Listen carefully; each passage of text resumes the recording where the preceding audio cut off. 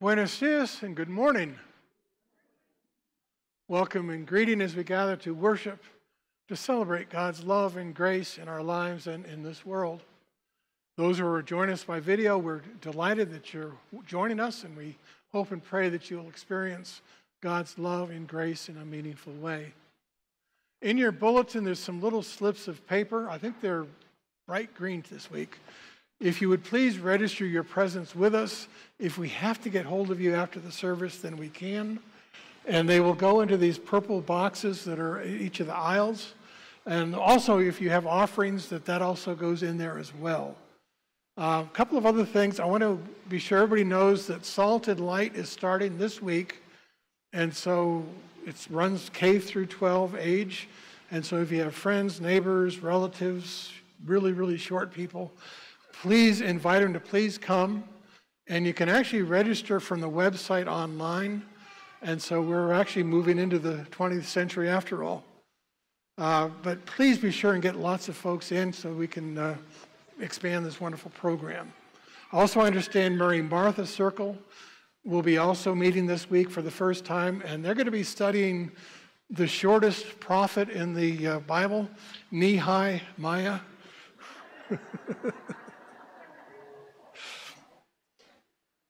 There's a meditation at the beginning of the bulletin. Let us prepare for worship.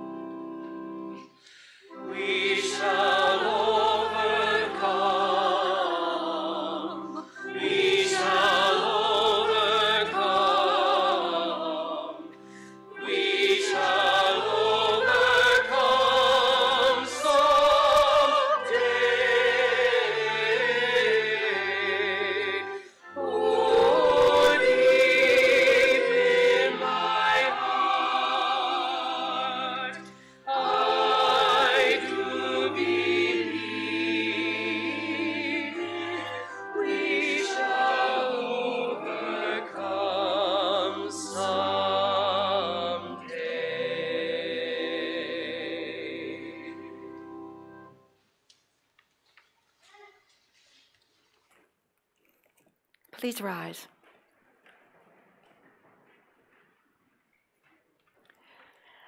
Let the same mind be in you that was in Christ Jesus, who, though he was in the form of God, did not regard equality with God as something to be exploited, but emptied himself, taking the form of a slave, being born in human likeness. And being found in human form, he humbled himself and became obedient to the point of death, even death on a cross. Therefore, God also highly exalted him and gave him the name that is above every name, so that at the name of Jesus every knee should bend in heaven and on earth and under the earth, and every tongue should confess that Jesus Christ is Lord to the glory of God the Father.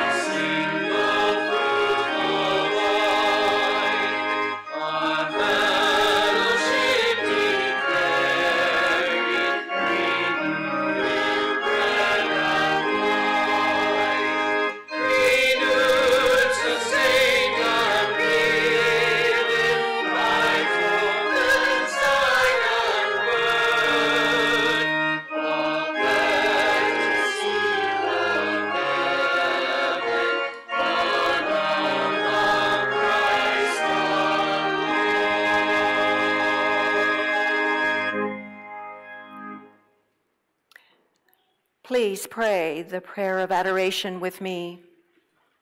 Oh, praise God's name together, you servants of the Lord.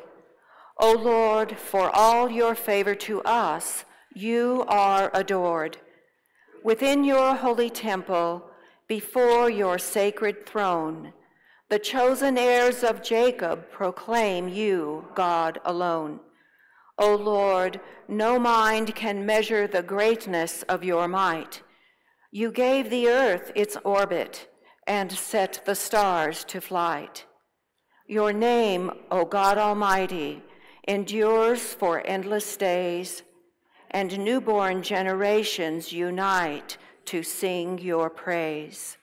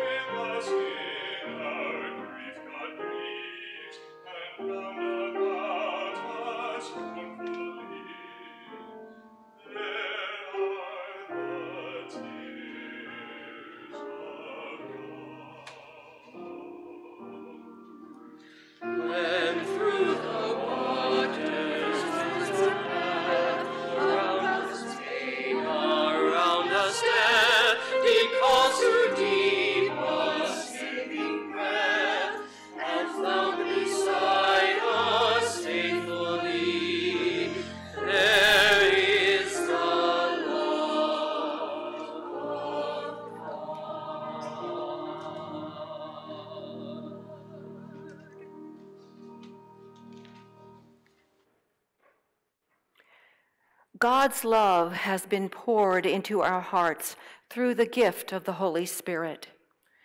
The proof of God's amazing love is this while we were sinners, Christ died for us. Because we have faith in him, we dare to approach God in confidence and rely on God's abundant mercy. Let us confess our sin before God and one another. Holy refuge of our hearts, we must admit that all too often you are not the center of our lives. We find shelter in all the false securities the world offers rather than grounding ourselves in your promises.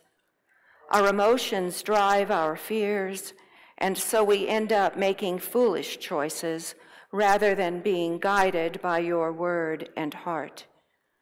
Lord God, do not hide your face from us, but turn to us with forgiveness and hope. Be gracious to us so we might share such grace with those around us. Fill our emptiness with your love so we might become more loving and live lives that honor and glorify your name.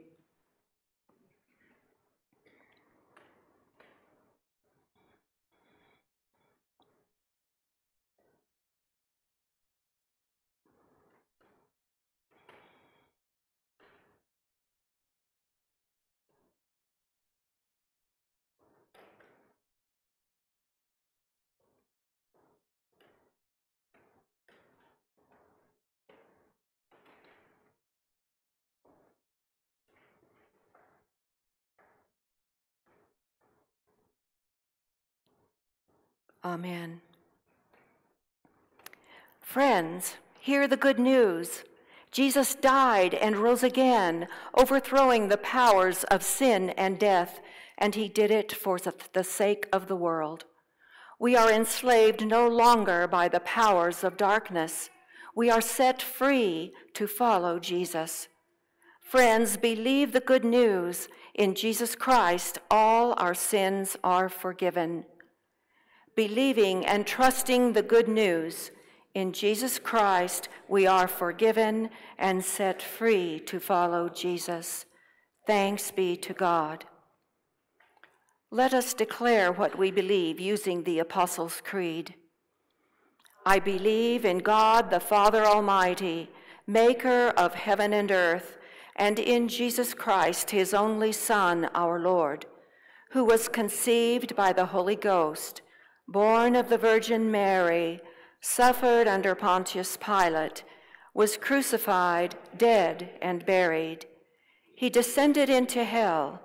The third day he rose again from the dead.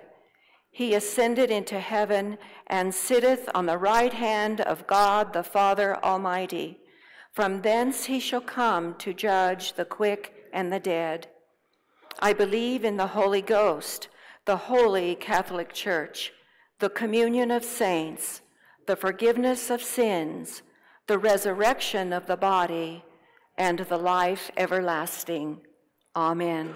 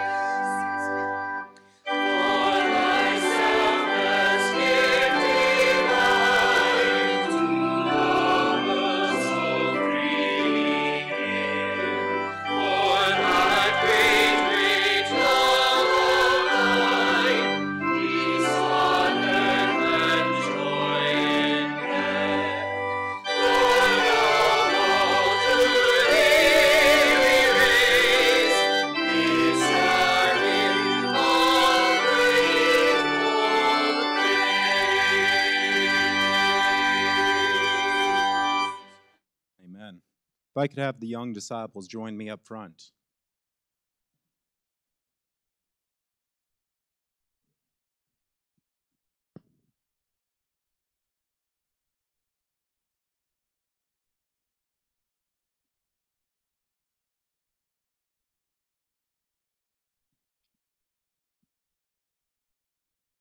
Good morning. So, today we are reading from one of my favorite books in the whole Bible. We are reading from the book of Romans. We're in the later part. What's already gone on in the book of Romans is that we have learned that God loves us so much, God's done something about it. He's shown up in His Son, Jesus Christ. He has lived with us, He has died for us, He has been resurrected into glory.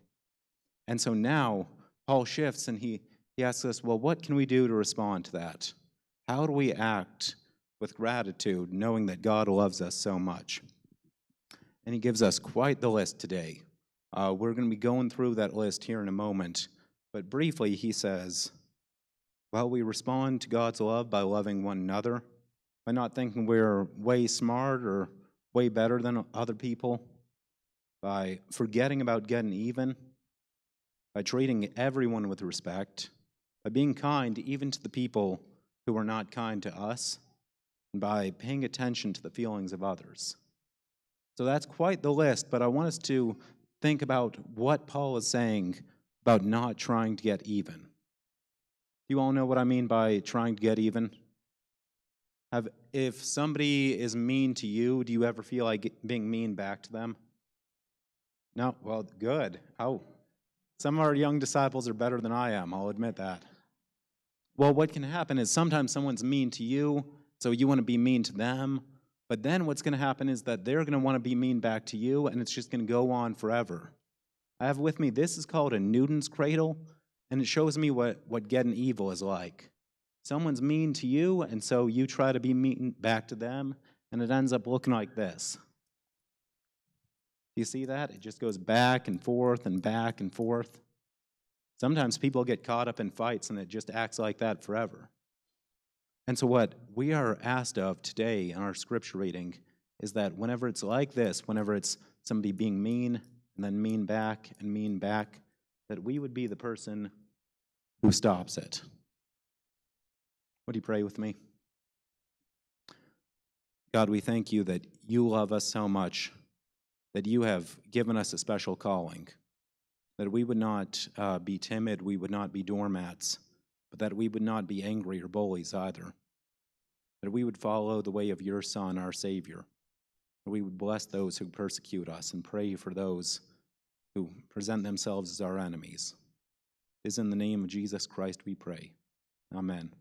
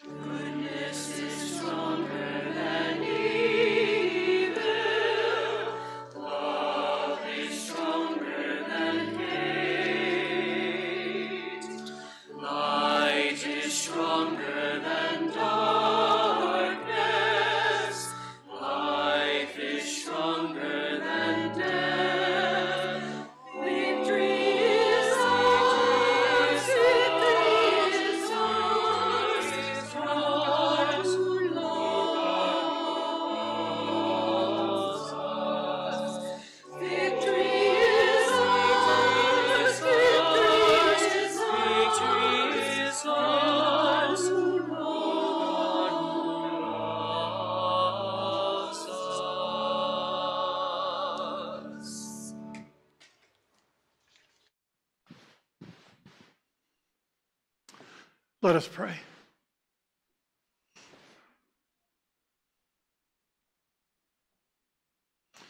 Lord God, for the abundance of your gifts and blessings, we thank you. We're grateful for our lives and all they contain, and for your gracious love that declares us precious in your sight. Help us, we pray to respond well and appropriately to your steadfast loving kindness by allowing your good and compassion to flow through our lives to a world in need anxious, fearful, weary, and angry. Merciful God, help us, we ask, to grow deeper and more faithful through our struggles and circumstances. And may we more and more recognize your presence and grace surrounding us and that supports and sustains us always. Help us. Look for you in all that we encounter.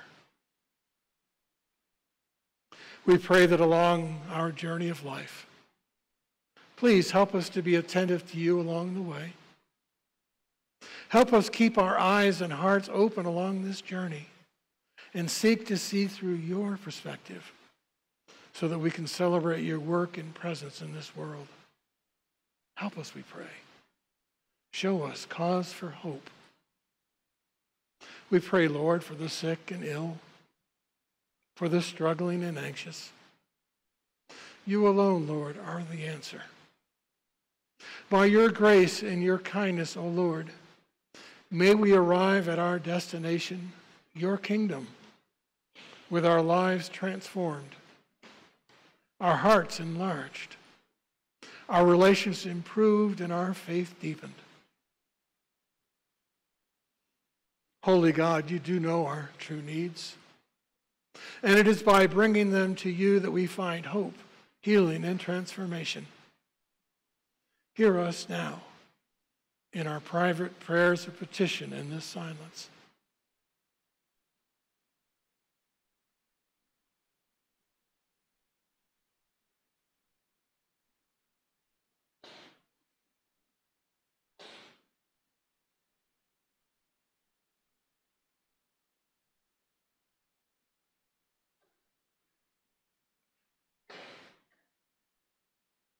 We thank you, Lord, that you are our God. You love us, you care for us. We thank you, Lord, that you are always with us, and that it's through your presence that we can grow and find healing and hope. Bless us, we pray, in Jesus' name. Amen.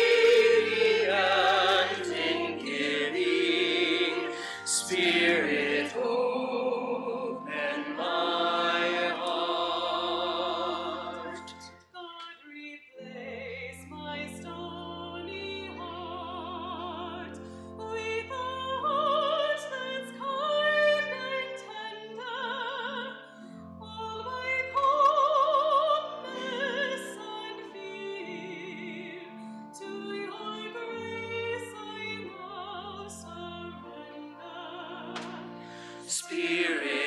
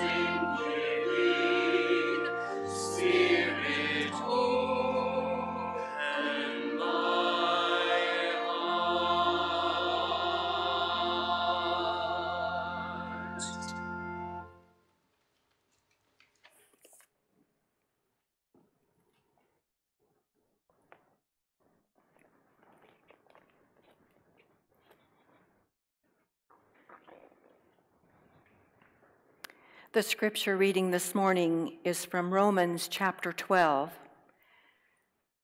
Let love be genuine. Hate what is evil. Hold fast to what is good. Love one another with mutual affection. Outdo one another in showing honor. Do not lag in zeal. Be ardent in spirit. Serve the Lord. Do not repay anyone evil for evil, but take thought for what is noble in the sight of all. If it is possible, so far as it depends on you, live peaceably with all. Beloved, never avenge yourselves, but leave room for the wrath of God. For it is written, Vengeance is mine, I will repay, says the Lord. No, if your enemies are hungry, feed them. If they are thirsty, give them something to drink. For by doing this, you will heap burning coals on their heads. Do not be overcome by evil, but overcome evil with good. This is the word of the Lord. Thanks be to God.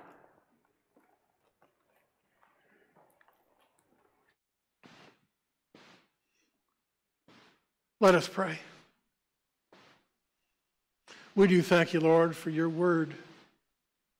Please open our hearts and minds, our understanding to your will and your wisdom. May the words of my mouth, the meditations of our hearts, be pleasing and acceptable to you. We pray this in Jesus' name. Amen.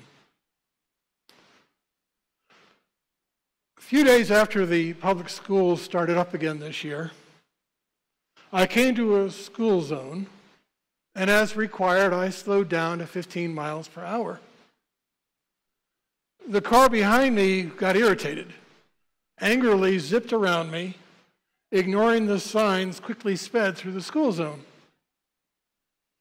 As it happened, there was a police cruiser sitting at the end of the school zone that immediately chased after the car with its lights flashing. And as I continued on my way, I passed that same car pulled over, obviously getting a ticket, and felt a curious sense of pleasure and smug delight. Somehow it feels strangely satisfying and righteous to observe the open jaws of justice closing down on someone else an experience that seems like a rebalancing of retribution, especially if we feel like we've been wronged or offended. I, I suppose we all have that natural revenge, retribution inclination, need and desire to strike back at those who upset us or distress us. In the ancient world, even predating the Ten Commandments, there was a principle called lex talionis, or the law of retribution an eye for an eye, tooth for a tooth, life for life. Now, that may sound a bit harsh, but actually its purpose was to restrict revenge by limiting the retribution to actual damages and losses, no more than an eye for an eye and only a tooth for a tooth. It was actually meant to protect the peasant from the wrath of the more powerful by limiting retribution to be proportionate to the crime. But in our Romans text today, Paul instructs otherwise. Verse 17 Do not repay anyone evil for evil, but take thought for what is noble in the sight of all. If it is possible, so far as it depends on you, live peaceably with all. This is extremely countercultural and counterintuitive. But as those who know they are the beloved children of God, we're to live out a very different attitude and set of values than the way the world around us operates and functions. And probably nothing goes more against our natural inclinations than to give up our right to revenge and embittered resentment. Now, that doesn't mean we just accept and go along with ongoing injustice or abuse or allow people to do harm and do us wrong without any consequence. But we are to deal with conflict, issues, and disagreements without any bitterness, payback, or holding a grudge. And by our response, we are to recognize that they too are loved by God, which calls us to reflect God's mercy and grace for them more than God's wrath and judgment against them. That means rather than trying to satisfy our anger by attacking, which, as Nick points out, tends to escalate the conflict even further and usually increases our own sense of resentment and bitterness, Paul is saying in verse 21 don't deal with evil in its own terms. Don't be overcome by evil, but overcome evil with good. The Lord God knows us entirely, knows all there is to know about us, knows our every word, our every word, deed, thought we've ever had, and yet is absolutely committed and irrevocably in love with us. Therefore, we can be and we're called and commanded to be so secure in our faith and certainty in God's love and promises that we are willing to forego our right to rancor and retaliation. As those who have repeatedly sinned against the Lord's perfection, and yet are the recipients of God's amazing and unwarranted grace, and whose love for us is far stronger than even the biggest mistake or our worst failing, the Lord God asks us to reflect that same love that we have received by sharing gracious love and mercy toward our neighbors. By God's grace, we are called to live peaceful and generous lives that bear witness to the truth, the grace, mercy, and promises of God by letting Christ's light shine in and through us as those who have been liberated and upheld by God's gracious love. When we receive Jesus Christ into our lives and follow as his own, then God's love and grace gradually redefines and transforms our lives. And that creates new possibilities, other options for grace to be our guide in how we live out our lives in this world and move away from payback, resentment, and bitterness. knowing that God is entirely trustworthy, steadfast, and faithful, and that we are fully secure in the certainty of God's love and promises, as people of faith, we are being made able to forego our desire to hate, to retaliate, and strike back. Knowing that there's far more than just this one short mortal lifetime. Paul would ask, what are our troubles today compared to the eternity that waits for us?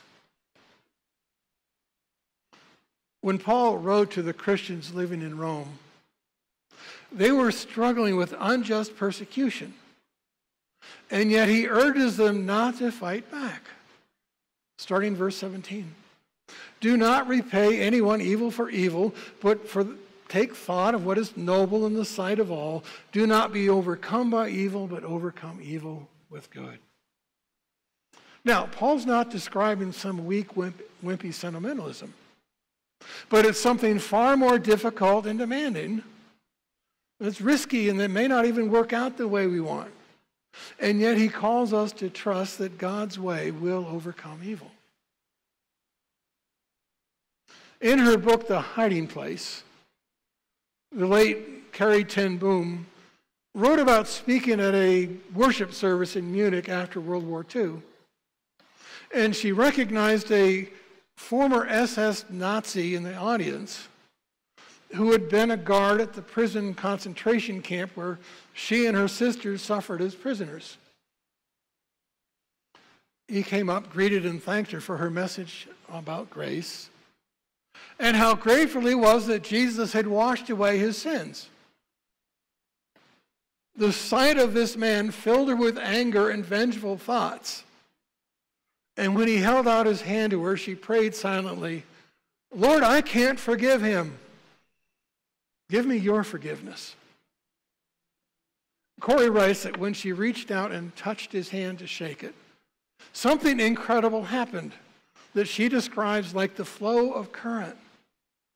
And that it wasn't her forgiveness or her willingness to forgive him, but God's mercy, God's love, God's forgiveness flowing through her to him.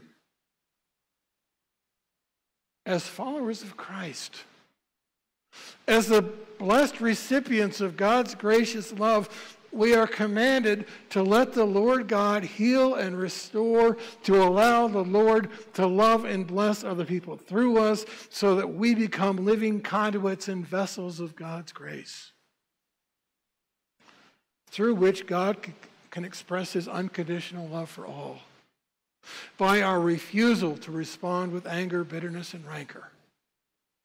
Because God's grace and presence really does make that much difference.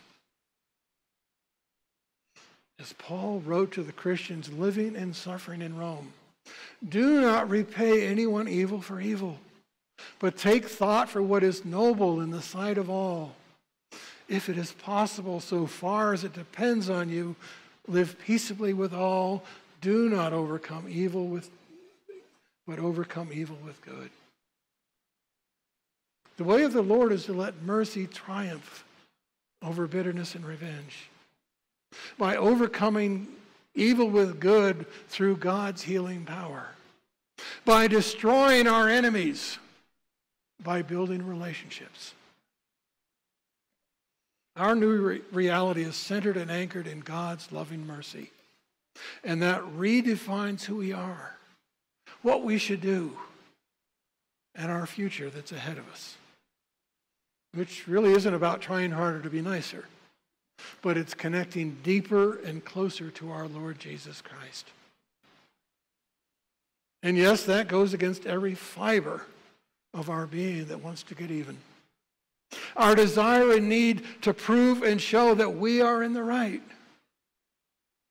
And there's nothing more difficult or demanding than to let God love our attackers through us and seek peace when we have been offended and hurt by refusing to act with anger, bitterness, or take revenge. We are allowing God to open up the possibility of reconciliation through our faithful obedience toward mercy and forbearance. In my years of ministry, I've often been amazed at the unlikely transformations and reconciliations I have seen the Lord our God accomplish. I've seen angry, offended people manage somehow to work together. Neighbors drop a lawsuit and reach an agreement. Countless ways.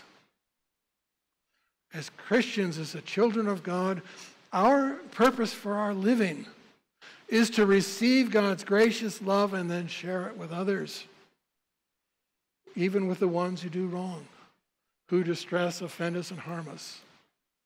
For those same evildoers are also loved by our Father in heaven.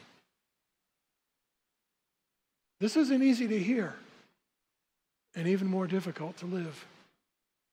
It's a command and it's God's wisdom and truth toward healing our world, our nation, our community that we do need to hear and urgently, desperately need to heed. Though very difficult to do. The question is quite simple.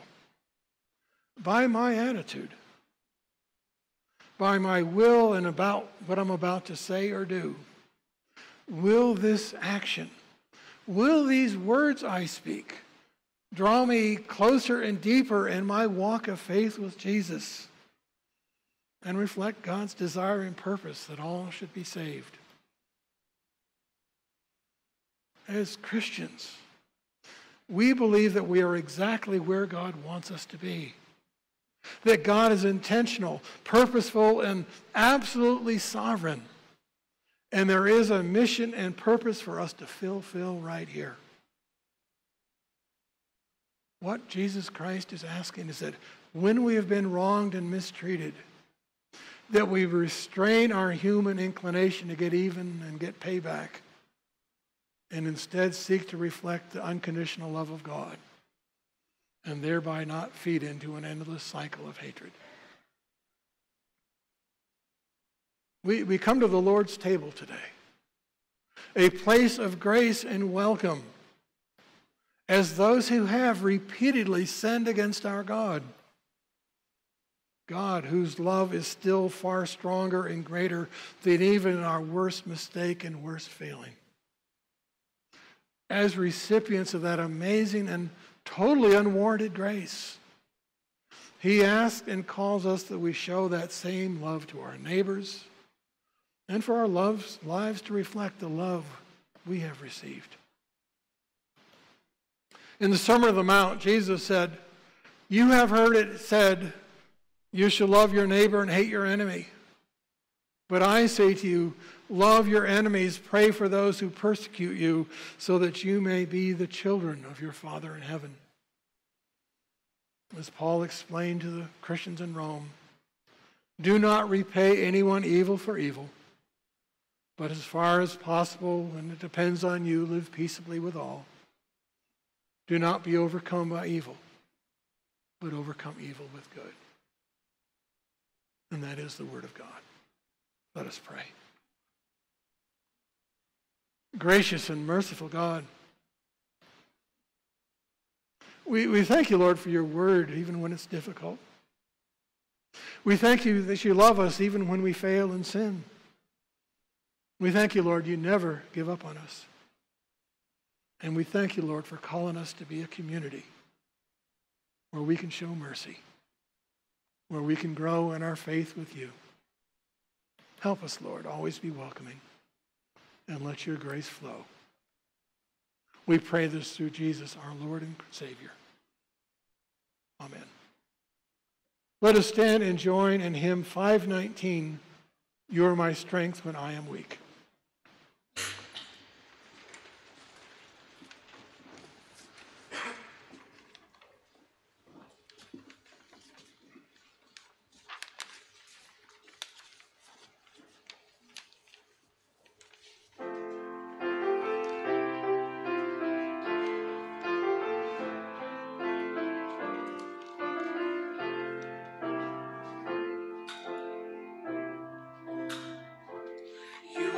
Christmas tree.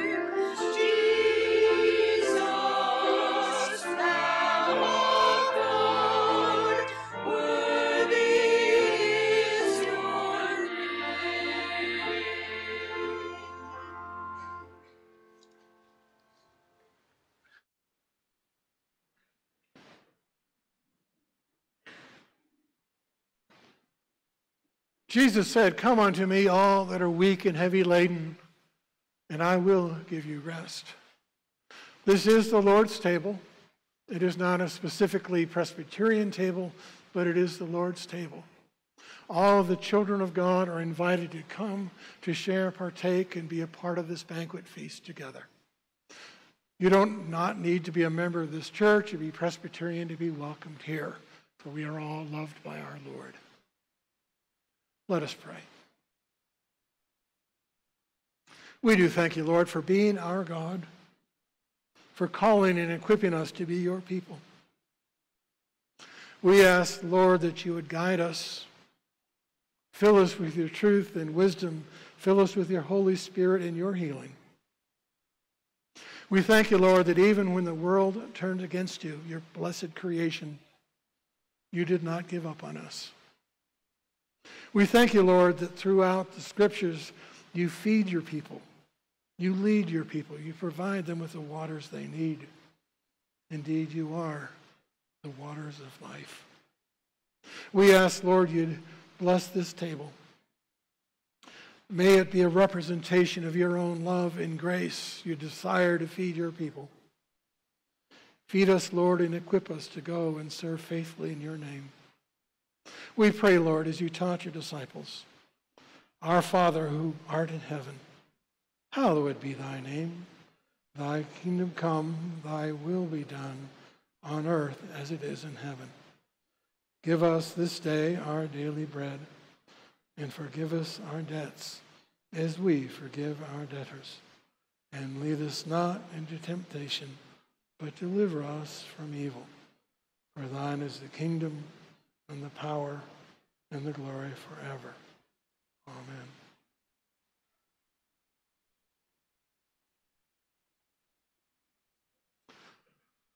On the night in which he was betrayed, after giving thanks, Jesus broke the bread, said, This is my body broken for you.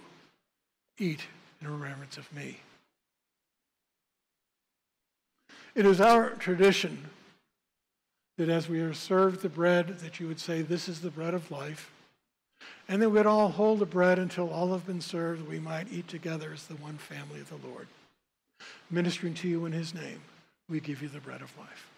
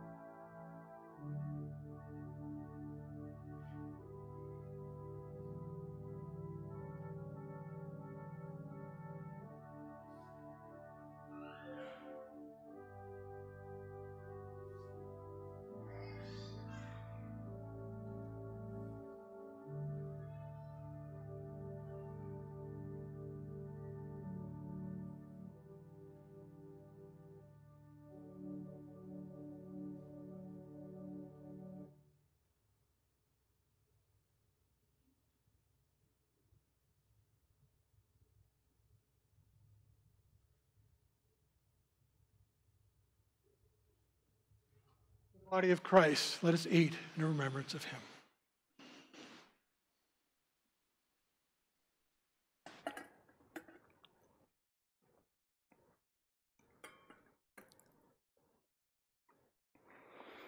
After they had eaten, Jesus took the cup and said, This is the new covenant sealed in my blood, shed for you for the remission of sin.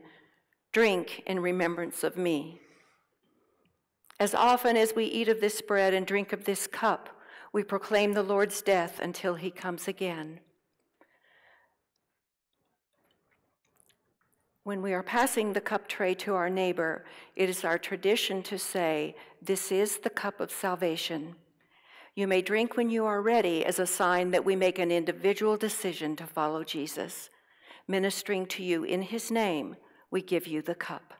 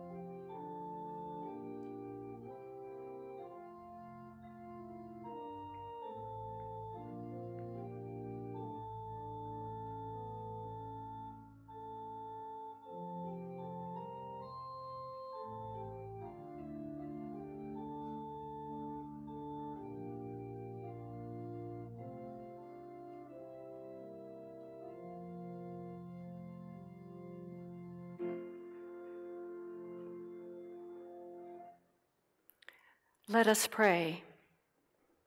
Gracious God, at this table we have gathered as your family to receive the blessing of bread and wine, the promise of boundless love that brings us life. Help us to know true humility so that we might show compassion.